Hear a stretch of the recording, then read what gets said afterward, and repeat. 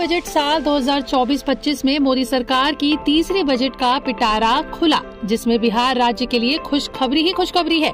देखिए, मोदी सरकार ने बिहार को बजट साल 2024 में रोड, इंडस्ट्री, कॉलेज, एयरपोर्ट देने का ऐलान किया है। मतलब ये कि बिहार को इस बजट में उम्मीद से ज़्यादा मिलता दिख रहा है। फाइनेंस मिनिस्टर निर्मला सीतारमन ने बिहार को पटना पूर्णिया एक्सप्रेसवे, बक्सर भागलपुर एक्सप्रेसवे, बोधगया, राजगीर, वैशाली और दरभंगा स्पर्श और चौथे दो लेन ब्रिज का तोहफा दिया है।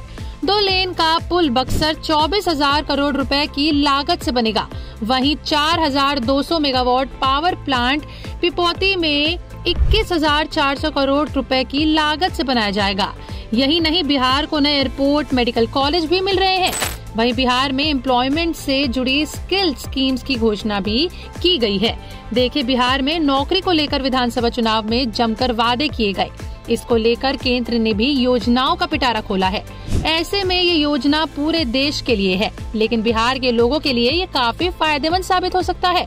इसी कड़ी में वित्त मंत्री निर्मला सीतारमन ने पीएम पैकेज के तहत रोज़गार से जुड़ी स्किल स्कीम की घोषणा की। ये योजनाएँ ईपीएफओ में एनरोलमेंट पर बेस्ड होंगी, जिसमें पहली बार काम करने वालों को पहचानने पर ध्यान दिया जाएगा। वहीं पहली बार काम करने वालों को सभी फॉर्मल एरियाज़ में कार्यबल में प्रवेश करने पर एक महीने की सैलरी मिलेगी।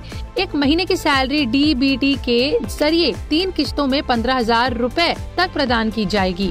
इस लाभ के लिए एलिजिबिलिटी लिमिट एक लाख रुपए पर महीना सैलरी होगी और इससे दो दशमलव एक लाख युवाओं को लाभ होने की उम्मीद है।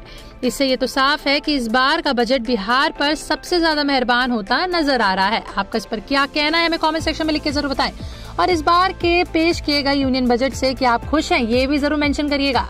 वीडियो अच्छी लगी हो तो लाइक शेयर करना ना भूलें और हमारे चैनल पैसा लाइव को अभी सब्सक्राइब कर लें। For exclusive and insightful videos, subscribe to our new channel ABP Live Premium.